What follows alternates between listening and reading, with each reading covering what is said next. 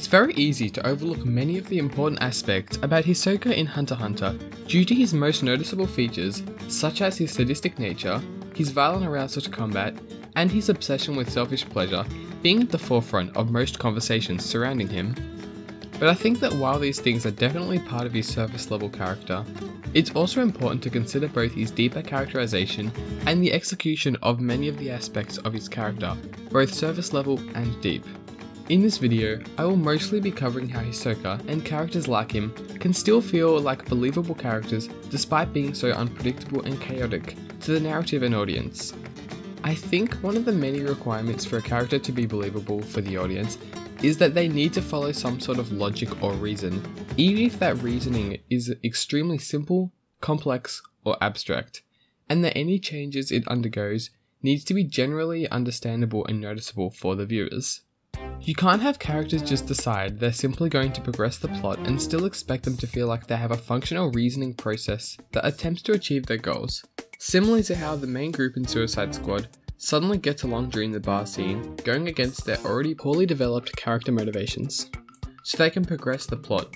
This very obviously broke the flow of each character's believability, and is an example of why characters need to follow some sort of logic that is consistent to them and their goals to be believable to the audience. However, this does not mean we can't create scenes or narratives that involve a choice from a character which is unpredictable and incalculable for its audience to create tension based on a decision. It just means that for those scenes characters to still feel like believable individuals, their decision, and by extension, the possible other decisions they could have made that the audience was supposed to consider needs to be reliant on the character's logic and goals, or the decision the character chooses is an option the audience could not consider but will regardless make sense to their logic.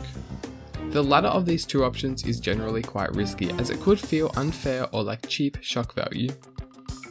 However, many characters are created to be something akin to an unpredictable chaotic force of nature, such as the Joker and Kefka from Final Fantasy VI, and even these characters still need to follow some sort of logical pattern, because a character that is supposed to be believable can't just do something for the sake of doing something, no matter how chaotic or random they are supposed to appear as. They still need to have a rational reasoning as to why they are going to do something, even if that reasoning is flawed or simply incorrect. This is where part of Hisoka's character and those like him shine. Hisoka is pretty much a force of nature in the eyes of the protagonists, an unpredictable, chaotic, dangerous force. His Hisoka's logical reasoning for his actions are followed consistently throughout Hunter Hunter as his reasoning for what he does is that he simply wants to get as much pleasure as possible, which often leads to the harming and death of others.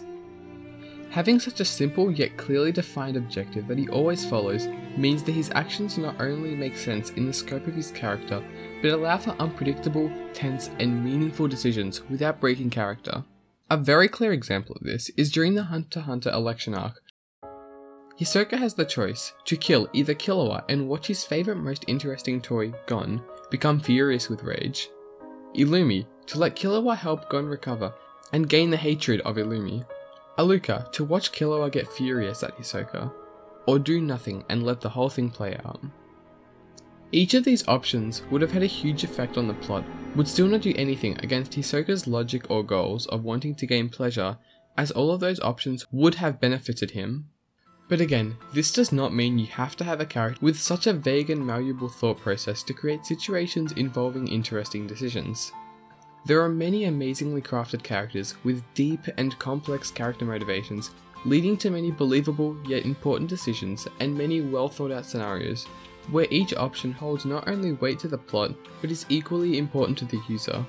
But Hisoka is an example of how a character could be made that is almost entirely unpredictable to the audience, allowing for the writer to create these scenarios almost anywhere in the narrative without causing a conflict with their motivations and a way of thinking.